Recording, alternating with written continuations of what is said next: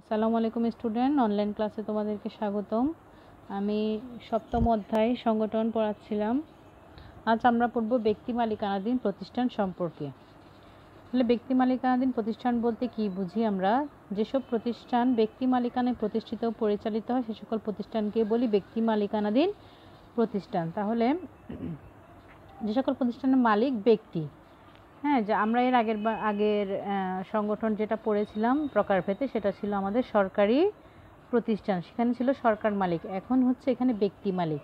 তাহলে একজন ব্যক্তিও মালিক হতে পারে, দুজন ব্যক্তি হতে পারে, বা দুই বা ততোধিক ব্যক্তিও হতে পারে। তাহলে মালিকানার ভিত্তিতে আমরা ব্যবসা প্রতিষ্ঠানগুলোকে তিন ভাগে ভাগ করতে পারি।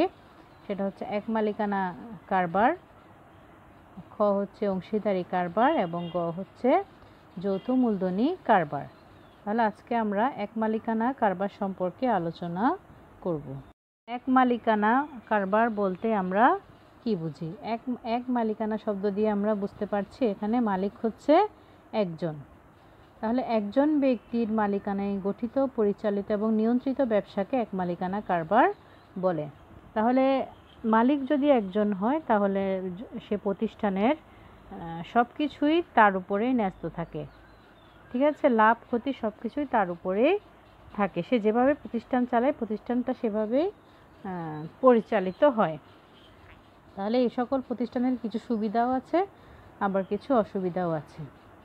তাহলে প্রথমে চলো আমরা সুবিধা নিয়ে আলোচনা করি। প্রথমত হচ্ছে গঠনের সুবিধা। তাহলে যেহেতু মালিক একজন সে যে কোনো মুহূর্তে যে কোনো প্রতিষ্ঠান গড়ে তুলতে পারে।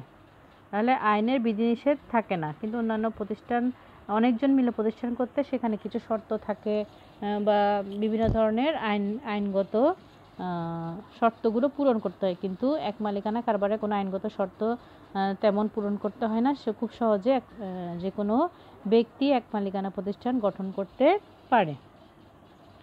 দুই নম্বর হচ্ছে দক্ষ পরিচালনা। তাহলে এক মালিকানা আহ, কারবারের মালিক একজন এবং সে সব কিছুই দেখাশোনা করে যে- কাঁচামাল কাঁচামাল কেনা থেকে শুরু করে প্রোডাক্ট ডেলিভারি পর্যন্ত সব কিছু তিনি নিজের প্রচেষ্টাতেই করে থাকে। ফলে যে কোনো অপচয় তিনি রোধ করতে পারে রোধ করতে পারেন এবং বুদ্ধিমত্তার সাথে তিনি প্রতিষ্ঠান পরিচালনা করতে পারেন। তাহলে সেই পরিচালনাটা হয়ে থাকে দক্ষ। তিন নম্বর হচ্ছে দ্রুত সিদ্ধান্ত গ্রহণ। তাহলে মালিক যেহেতু একজন ব্যক্তি, তাহলে যে কোনো প্রতিষ্ঠানের প্রতিষ্ঠানের স্বার্থে তিনি যে কোনো সিদ্ধান্ত গ্রহণ নিজেই করতে পারে। কিন্তু মালিক মালিক যদি বেশি হয়ে থাকে, সিদ্ধান্ত গ্রহণ ও অন্যদের মতামতের দিকেও আমাকে নিরপেক্ষ মতামতের দিকে তাকাতে হয়। কিন্তু এক মালিকানা কারবারে কারও মতামতের মতামতের কোনো দরকার নেই। সে নিজেই, মালিক নিজেই সিদ্ধান্ত গ্রহণ করতে পারে। চার নম্বর হচ্ছে ভোক্তার রুচি অনুযায়ী দ্রব্য উৎপাদন। তাহলে এ ধরনের প্রতিষ্ঠান সাধারণত ছোটোখাটো হয়ে থাকে যেখানে সে প্রতিনিয়ত বাজার মনিটরিং করতে পারে।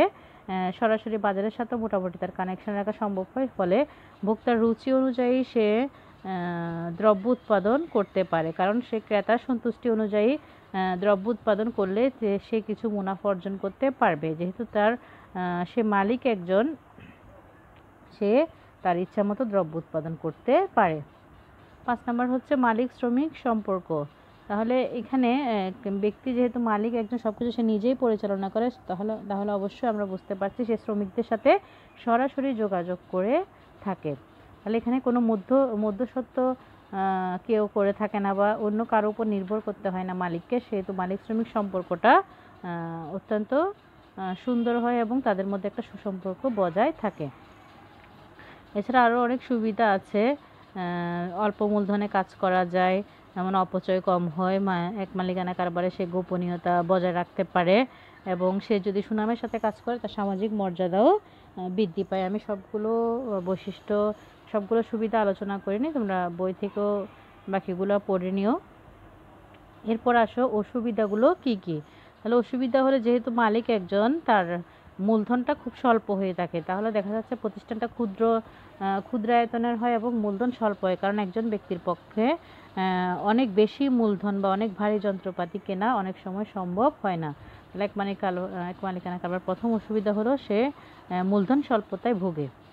দুই নম্বর হচ্ছে ক্ষুদ্রায়তন উৎপাদন। তাহলে এখানে বৃহদায়তন উৎপাদনে অনেক বেশি ব্যয় করতে হয়, কিন্তু সে এত বেশি ব্যয় করতে পারে না। ফলে তাকে ক্ষুদ্রায়তন ক্ষুদ্রায়তনে বা ছোট পরিসর উৎপাদন পরিচালনা করতে হয়।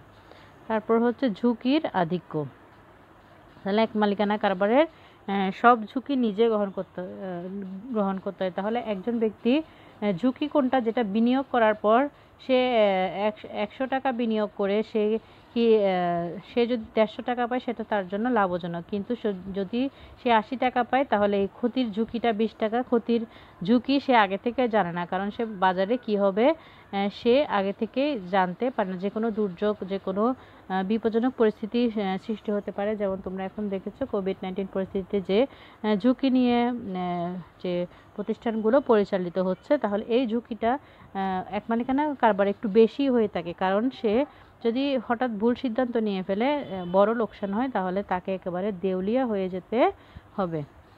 চার নম্বর হচ্ছে সীমাহীন দায়িত্ব। সীমাহীন দায়িত্ব মানে একেবারে সব দায় দায়িত্ব, শুরু থেকে শেষ পর্যন্ত সব দায়িত্ব বিনিয়োগ বিনিয়োগ করা থেকে শুরু করে প্রতিষ্ঠানের কাজকর্মগুলো গুছিয়ে নেওয়া তো শুরু করে সব দায়িত্ব এক, সব দায়িত্ব মালিক পক্ষে। থাকে যেহেতু সে মালিক একজন, তাহলে তার দায়িত্ব হচ্ছে অসীম।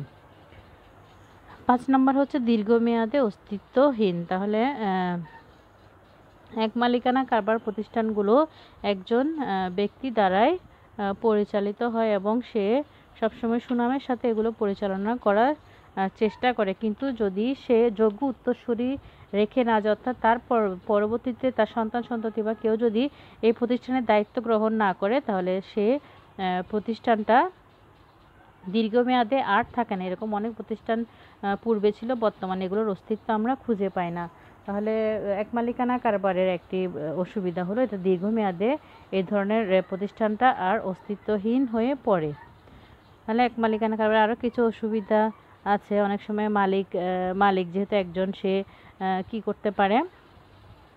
সে স্বেচ্ছাচারিতা শুরু করতে পারে অনেক সময়। হ্যাঁ। আরও অনেক তার দক্ষতাও আস্তে আস্তে হ্রাস পেতে পারে। তাহলে এই অসুবিধাগুলো দূর করে যদি সে দক্ষভাবে পরিচালনা করতে পারে, তাহলে আমরা বলতে পারি এক মালিকানা কারবার একটি সফল প্রতিষ্ঠান হিসেবে আত্মপ্রকাশ করবে। এই ছিল আমাদের এক মানে এক মালিকানা কারবার এবং তার সুবিধা অসুবিধা। আমরা আগামী ক্লাসে অংশীদারি কারবার এবং যৌথ মূলধনী কারবার সম্পর্কে আলোচনা করব। আজ এই পর্যন্ত। আল্লাহ হাফেজ। সবাইকে ধন্যবাদ।